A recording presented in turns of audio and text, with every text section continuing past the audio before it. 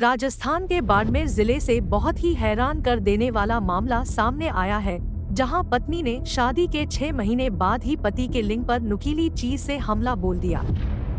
दूसरी शादी करने की चाहत में पत्नी ने सोते हुए पति का प्राइवेट पार्ट काटने की कोशिश कर घायल कर दिया। अचानक हमले से पति जाग गया और दर्द के मारे ज़ोर ज़ोर से चिल्लाने लगा। मामला बाड़मेर ज़िले के धोरीमन्ना भलीसर गाँव का है। महिला की शादी आटासाटा में हुई थी। पति का प्राइवेट पार्ट काटने की कोशिश का यह मामला एक अक्टूबर का है। पीड़ित पति ने मंगलवार को पुलिस में मामला दर्ज कराया है। इससे पहले मामले को सुलझाने के लिए करीब एक महीने तक दोनों पक्षों में सामाजिक स्तर पर पंचायत चलती रही। शिकायत मिलने पर पुलिस ने पीड़ित युवक गोराराम का मेडिकल कराया। मेडिकल रिपोर्ट के अनुसार फ़िलहाल उसका घाव भर चुका है। पुलिस उसकी पत्नी से पूछताछ कर रही है। पुलिस का एसपी के ज़रिए युवक की रिपोर्ट मिली थी। उसमें बताया उसकी शादी छह माह पहले कानू देवी से हुई थी।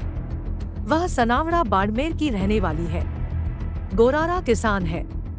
घटना की रात को खेत में बनी ढाणी में सो रहा था। पत्नी भी साथ थी। वह फ़ोन पर बहन और बहनोई से बात कर रही थी। इसको लेकर दोनों में बहस हो गई। थोड़ी देर बाद पति सो गया।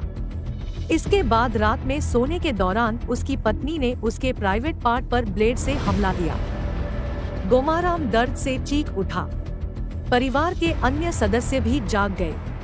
किसी तरह से उसे संभाला, अगले दिन सुबह उसे प्राइवेट हॉस्पिटल लेकर गए। उसका इलाज कराया। गनीमत रही कि कट ज़्यादा गहरा नहीं लगा था। इसके बाद करीब एक माह तक सामाजिक स्तर पर दोनों परिवारों में पंच पंचायती भी चली। इस दौरान घर में रिश्तेदार की डेथ भी हो गई थी। फिर परिवार उसमें लग गया था, लेकिन आखिरकार अब मामला थाने तक पहुँच गया। एसपी को पेश की रिपोर्ट में पीड़ित ने बताया कि हमले के बाद पत्नी से पूछा कि तूने ऐसा क्यों किया? इस पर उसने बताया कि बहन और जीजा ने उससे कहा था कि तू पति का प्राइवेट पार्ट काट दे। तब वो नामर्द हो जाएगा। फिर तेरा उससे तलाक हो जाएगा। फिर तेरी शादी तेरी पंसद के लड़के से हो जाएगी।